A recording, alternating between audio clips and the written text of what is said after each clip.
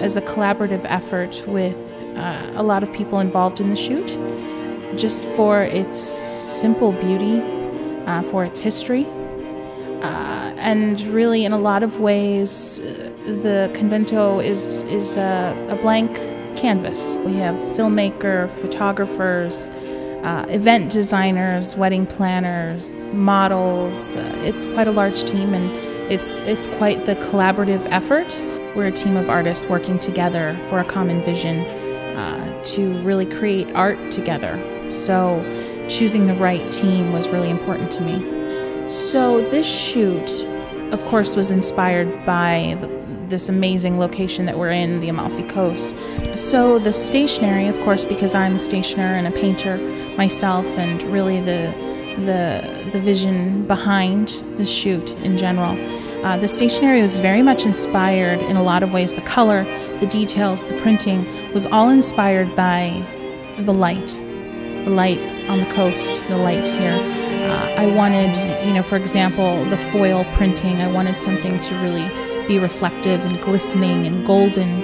And uh, the light in Italy on the Amalfi Coast is everything that everyone says it is. Uh, my signature artwork is, is floral, so there's a lot of floral throughout the stationery.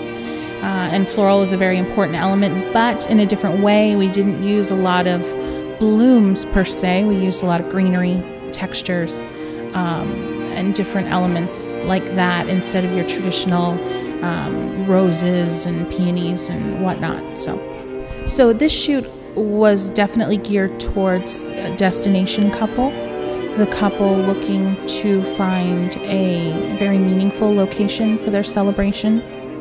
Uh, Italy, of course, just seems like the quintessential romantic destination for brides, but we wanted to show them that they don't have to sacrifice on style, on details, on beauty, just because they're going to be traveling a long distance. Uh, we wanted to show ways that the celebration, the wedding ceremony, the floral, the stationery could all still be very meaningful, very personal, um, while still being executed from far away.